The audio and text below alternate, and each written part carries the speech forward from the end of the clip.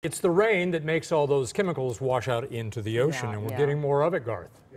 On our way beginning late tonight. Uh, I think through the overnight period, we're really going to get it probably between like 2 a.m. and 10 a.m. tomorrow. Then we'll start to get a little more showery in nature. Meanwhile, above it all, there's the snow. This will not be a big snowmaker. Uh, snow elevation's way up there because it's subtropical in nature.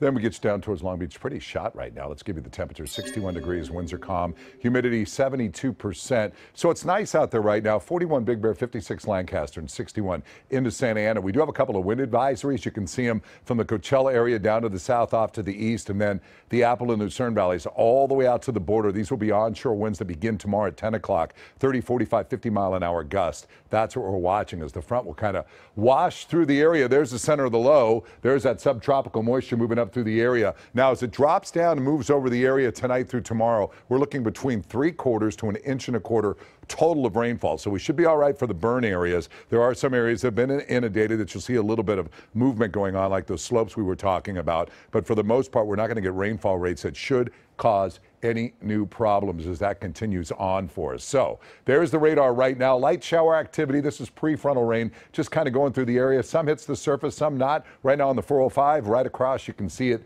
uh, and up on the 101 over towards the 405, the San Fernando Valley, getting a little bit harmlessly falling up towards Wrightwood by the two up there, just off Acton. And there's that system I was talking about, or that cell a little bit ago, uh, that's starting to move on shore right now towards Long Beach, down towards PV. You can see it there, uh, just kind of beginning to move its way in through the area. There's the low. There's the fetch of moisture. That's warmer air. That's why it doesn't feel that bad out. So it's not a cold core low just pushing through, bringing us uh, cold rain into the area. And by later tonight, here's what's happening. By about 11:30, 12, we start to see things move in. By 1:30, there it is. The rain starts to move through the heavier amounts, but this is still reasonable. We're not pulling in huge amounts of short-time raindrops that are coming down and just pummeling the burn areas through the overnight period. Like I just said, there's the worst of it through 7:30, 10 a.m. Watch what happens. We start to clear it out a little bit and start to just go showery in nature for the rest of the day on Saturday. Then we're going to get a break coming our way on Sunday, and then another heavier system looks like it still could be moving our way